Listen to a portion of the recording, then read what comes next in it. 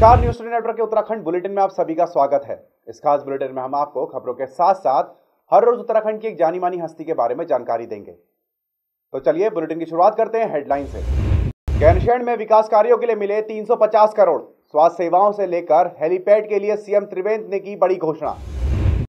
महाशिवरात्रि के लिए हरिद्वार कुंभ प्रशासन ने कसी कमर। गंगा स्नान के वक्त श्रद्धालुओं को नहीं होगी कोई दिक्कत।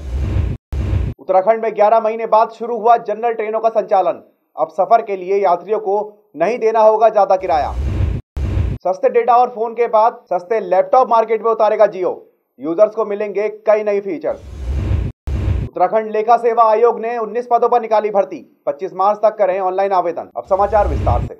मुख्यमंत्री त्रिवेंद्र सिंह रावत ने गैनशैंड में विकास कार्यों के लिए साढ़े तीन सौ करोड़ की धनराशि दी है।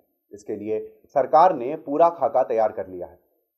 इसमें चकोटिया हवाई अड्डे के लिए 20 करोड़ सचिवालय के लिए 15 करोड़, विधानसभा भवन के लिए 19 करोड़, गैरशैण पेयजल योजना के लिए 106 करोड़, सीएससी हॉस्पिटल अपग्रेडेशन के लिए साढ़े ग्यारह करोड़, परिवहन सेवाएँ दुरुस्त करने के लिए पाँच करोड़ और स्किल डेवलपमेंट के लिए एक करोड़ एवं कई कार्यों के लिए धनराशि स्वीकृत की है। सीएम त्रिवेंद्र की माने तो भराड़ी सैंड में बनने वाले हेलीपैड पर एक साथ तीन एमआई हेलीकॉप्टर उतर सकेंगे। हमने प्रयास किया है कि उत्तराखंड, जो विकसित राज्य की हमारी परिकल्पना है, उसकी नींव को हम मज़बूत करें और उसी दृष्टि से अपने राज्य के उपलब्ध संसाधनों के आधार पर और जो हमारे पास प्लान का जो भी पैसा हमारे पास है, हमने उसका उपयोग करने का प्रयास किया है। और कल्पना यही है, और जो हमारा फोकस है, वो चार विषयों पर है, स्वस्थ उत्तराखंड, सुगम उत्तराखंड, स्वावलंबी उत्तराखंड और सुरक्षित उत्तराखंड। खबर हरिद्वार महाकुंभ की। हरिद्वार में महाकुंभ की शुरुआत हो गई है। कुंभ को सफल बनाने के लिए मेला प्रशासन हर मुमकिन प्रयास कर रहा है। वहीं 11 मार्च को महाशिवरात्रि के महत्वपूर्ण स्नान के लिए भी कुंभ प्रशासन ने कमर कस ली है। अपर मेला अधिकारी डॉक्टर ललित नारायण मिश्र ने अधिकारियों को इस दिन सभी व्यवस्थाओं को पूरी तरह दुरुस्त रखने के निर्देश दिए हैं। उनकी माने तो घाटों में स्नान के वक्त श्रद्धालुओं को लाइटिंग या किसी तरह की कोई दिक्कत नहीं होगी। इसके लिए 29 पोल पर लाइटिंग की व्यवस्था की जा रही है। अब मेला अधिकारी ने सभी कार्यों को सात मार्च तक पूरा करने के भी निर्देश दिए हैं।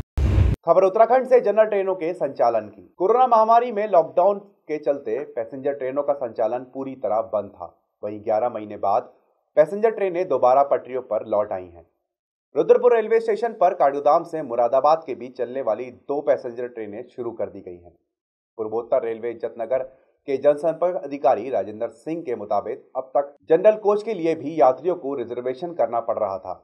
वहीं अब पैसेंजर ट्रेनों का संचालन शुरू होने के बाद यात्रियों को रिजर्वेशन की ज़रूरत नहीं पड़ेगी।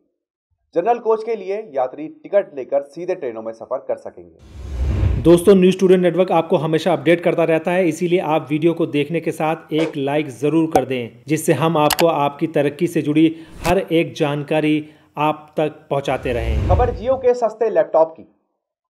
सस्ते डेटा और फ़ोन के बाद अब रिलायंस की जियो कंपनी एक लो कॉस्ट लैपटॉप पर काम कर रही है। रिपोर्ट के मुताबिक इसे जियो बुक नाम से मार्केट में उतारा जाएगा। यह जियो ओएस पर काम करेगा और 4G LTE को सपोर्ट करेगा। लैपटॉप में तमाम जियो ऐप आपको पहले से ही इंस्टॉल्ड मिलेंगे। खबर उत्तराखंड सचिवालय में भर्ती की। उत्तराखंड सचिवालय और उत्तराखंड लेखा सेवा आयोग में 19 पदों पर भर्ती निकली है।